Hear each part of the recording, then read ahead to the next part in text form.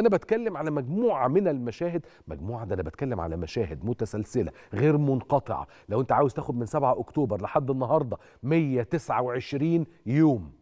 بنتكلم تقريبا في 26 أو أكتر 26 ألف شهيد وبنتكلم على 8000 موقو- مفقود بنتكلم على عشرات الآلاف من الجرحى والعالم يقف. ولاقي النهارده برضو بارل يقول على المجتمع الدولي أن يعيد التفكير في تقديم الأسلحة لإسرائيل. إن أردتم أوقفوا تصدير الأسلحة لإسرائيل بالكامل.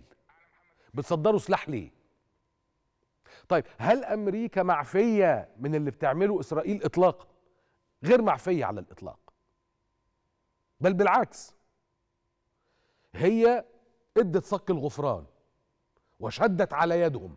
والتصريح الواضح من جوزيف بايدن كان بيقول فيه إيه؟ بيقول لبنيامين نتنياهو في المكالمة التليفونية لو أنت خدت قرار تضرب رفح ابقى خلي بالك على المدنيين. ما قالوش ما تضربش يبقى بس خلي بالك على المدنيين.